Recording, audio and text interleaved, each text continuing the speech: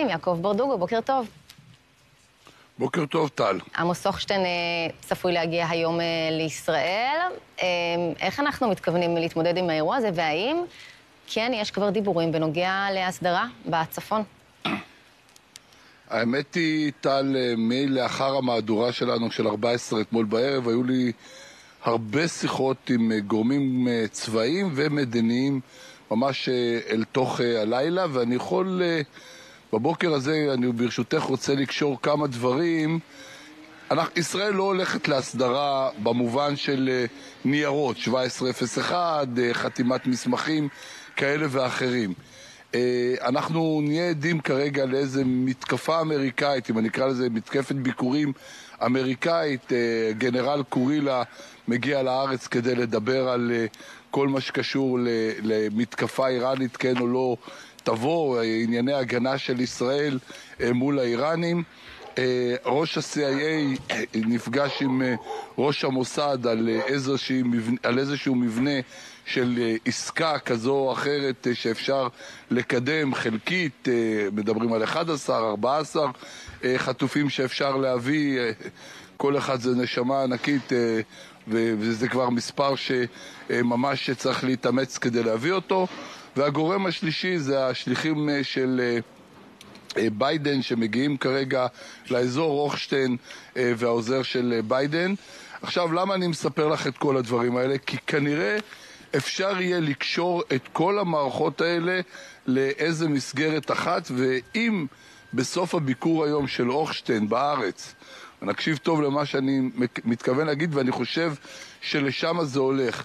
תצא הודעה כזו או אחרת שמזכיר המדינה האמריקאי בלינקן יגיע לאזור, הרי אה, שישראל אה, הולכת לייצר פה איזה מציאות שבראש ובראשונה אני אתחיל איתה מהצפון, כנראה הולכים לימי הפוגה.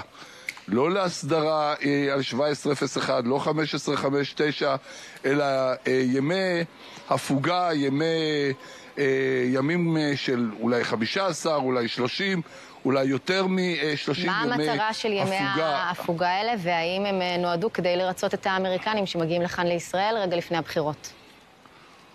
תראי, אין ספק שיש קשר ישיר אה, בין הגעה של בלינקן לפני החמישה בנובמבר, אנחנו מדברים, אני מדבר על אה, סוף השבוע הזה, תחילת השבוע הבא, לכל המאוחר, לא יאוחר מיום ראשון, כדי שיהיה לזה איזשהו אפקט מבחינת האמריקאים, לשיטתם, לבחירות, לבוא ולהגיד, השגנו אה, רגיעה במזרח התיכון, הנה אנחנו נכנסים לימי הפסקת אש אה, בצפון. ישראל עומדת על בעיקר שני תנאים, לא מעניין אותה הניירות, ההסכמים, המסמכים, מעניין אותה שחיזבאללה, למקסם את הניצחון או את היתרונות שכרגע צה"ל השיג, להשיג אחורה את אה, החיזבאללה מעבר לליטני, ובעיקר חופש פעולה של ישראל לאורך כל הדרך, לאורך כל אה, הצפון. זאת אומרת, אם מזהים כניסה של אה, חומרים או אמל"חים או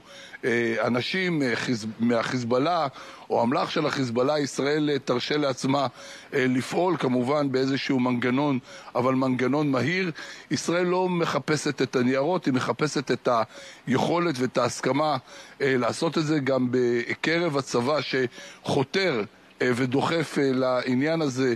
יש אה, הרבה מאוד הבנות שהצליחו להשיג הרבה מאוד יעדים. השאל, השאלה אבל ברדוגו, אם ל... 30 ימי ההפוגה האלה עשויים אולי להחזיר אותנו צעד אחורה, אחרי ההישגים הבאמת בלתי נתפסים של הלוחמים הגיבורים שלנו, עוד זמן התארגנות לכוח חיזבאללה, וגם מה עושים במידה וחיזבאללה ממשיך לשגר רקטות? שאלה. שאלה מאוד גדולה. לגבי רקטות, אני חושב שימי ההפוגה האלה כוללים גם אה, הפסקת אש אה, מבחינת ירי אה, רקטי מלבנון, עד כמה שאני מבין. הירי רקטי הזה הוא כלול בימי הפוגה. בבוקר הזה, אני לא יכול להגיד לך שאנחנו כבר ההסכם מתקדם, אבל בשעות של הלילה וגם בשעות הבוקר, אני חושב שיש יותר קרבה הבוקר הזה לימי הפוגה מאשר למשהו אחר. כמובן, הכל יכול להשתנות, לא בטוח שהחיזבאללה, לא בטוח שלבנון יסכימו לתנאים של ישראל, התנאים האלה של חופש פעולה הם תנאים קשים. גורמים אמריקאים אומרים שכן, שהם הצליחו לשבור את המחסום הזה, וזה בעצם סוג האופטימיות שלהם. הם באו עם, כמובן עם הצעה יותר רחבה, עם ללכת על 1701, לא הולכים פה על ניירות, אלא הולכים פה על uh, uh, הבנות, בעיקר uh, צבאיות, שבעצם חיסול היכולת הצבאית של לסכן את תושבי הצפון של החיזבאללה, גם אמל"חית וגם אנושית שם בגבול הצפון. האמריקאים, כשמדברים עם הישראלים, אומרים שהם קרובים מאוד לעניין הזה, mm-hmm. ואני אומר עוד פעם, אני קושר את זה גם כן לשיחות שהיו לדדי ברנע עם ראש ה-CIA, גם הוא חושב שיש לו איזושהי מסגרת של יכולת לסגור פה השבת חטופים, בתקווה אדירה מאוד שאפשר לעשות את זה.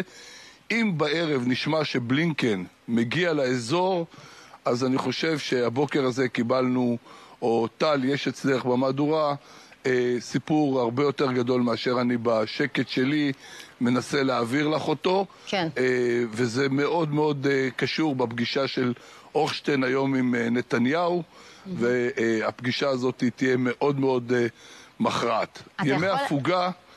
על הפרק. אתה יכול לנסות אה, להגיד לנו מה מלפי הלחץ שהפעילה ארצות הברית כדי לאלץ את ישראל לקבל את ימי ההפוגה, שאתה יודע, רוב הפרשנים הביטחוניים לפחות שנמצאים כאן ועכשיו ב-10 אומרים שזאת טעות, שזאת, שזו נקודה מאוד מאוד קריטי, שצריך ללחוץ עוד יותר על חיזבאללה, בדיוק ברגעים שבו הוא כבר מפרפר ומתקשה להתמודד עם הכוח של צה"ל. האם מדובר על חימושים? האם מדובר על אמצעים נוספים אה, דיפלומטיים בינלאומיים שארצות הברית מפעילה כרגע על ישראל כדי לאלץ אותנו ללכת לכיוון הזה? תנסה לפרשן לנו ממה שאתה אה, מעריך. איך אומרים, אה, השאלה שלך היא גם תשובה. אוקיי. אוקיי, אז נסתפק בזה. אגב, יש תמימות דעים בין ראש הממשלה לבין שר הביטחון בהקשר הזה בנוגע לימי ההפוגה? אה, מי שמוביל את העניין הזה זה רק ראש הממשלה, אנחנו ניתן לו לטוב ולרע, כל אחד ייקח את זה למקום שהוא רוצה. נתניהו מוביל את המהלך הזה, אני חושב שהמשקל של שר הביטחון אה, משני אה, כרגע בהחלטות האלה. הוא נפגש, הוא מצולם, אנחנו רואים תמונות, אנחנו רואים כל מיני אמירות שנעשים, הצלחנו להוריד ככה את, את הטילנות, את ה... לטוב ולרע, הקבינט המדיני-ביטחוני בראשות נתניהו, כלומר המהלכים האלה יהיו אה, מבוצעים על ידי נתניהו. הערכתי בבוקר הזה שאנחנו יותר קרובים לימי הפוגה אה, מאשר אה, שלשום ואתמול. לא מדובר על הסדרה. לא מדובר על הסדרה, ולכן אה, כמובן המרחק עוד גדול, יש עוד מרחק גדול, הכנסתי לך פה את ה-CIA ועסקת החטופים ודברים נוספים, אבל הרושם אה, שאני מקבל בבוקר הזה, שבלינקן קרוב להגעה אה, בסוף השבוע הזה לישראל, אם בלינקן מגיע לפה, זה סיפור אחר. אם לא תצא הודעה שבלינקן מגיע, אז אנחנו נשארים במצב שבו הגורמים מהצד השני אה, מסרבים לאמירות של ישראל, ואמרתי והדגשתי, ישראל דורשת אה, השגה אחורה של כל כוחות אה, חיזבאללה ואפשרות ויכולת פעולה בכל אזור דרום לבנון, בכל מה שקשור לאמל"ח ולמה שנקרא מחבלים. אבל לא הולכים להכתיר את האזור הזה כרצועת מוות, אני מניחה. אני אגיד לך את ה... לא, לא נכנסתי לעומק הדברים, כן. אני אבל לא חושב שזה אה, פרימטר כזה של רצועת מוות, בטח לא בשלב הזה, לא, לא, לא יודע לענות לך על השאלה ועל כן. הדבר הזה. אוקיי, ברדוגו, זרקת כאן אה, חתיכת אה, כותרת שהולכת להשפיע על כל סדר היום הציבורי אה, של היום הזה. נחכה לראות מה יתקיים ויתרחש עם בלינקן. אה, תודה רבה לך בשלב הזה, ואם יהיו לך כמובן רגע, עוד עדכונים... רגע, מה, יש לי אולפן חמישי היום. תשמע, אני עוד, עוד, עוד מתאוששת, אני פשוט עוד מתאוששת מהדברים שאמרת כאן אה, בדקות האחרונות, אבל כן, מה, מה קורה הערב באולפן חמישי? בסך הכל אה, נתתי לך את הערכתי לאור שיחות, היא יכולה להיות גם שגויה, אבל זו הערכה לאור שיחות. אולפן חמישי היום, כמובן, עם אה, פרופסור סממיאן, עם פרופסור סיבוני, עם הצוות של, אה, שלנו, דוקטור טאוב, דוקטור אה, אה, אה, בוחבוט וחברים נוספים, פרופסור זליכה, איתמר פליישמן, כולם יבואו לתת לנו סקירה גם ביטחונית, גם על השבוע האחרון. השר אלי כהן, חבר הקבינט המדיני-ביטחוני, יהיה אצלנו, חבר הכנסת פינדרוס חרד, מהחרדים יהיה אצלנו, ואני אגיד לך את הבוקר הזה מול המצלמה. סגרנו עם השר איתמר בן גביר, שיהיה אורח אצלנו בתוכנית היום.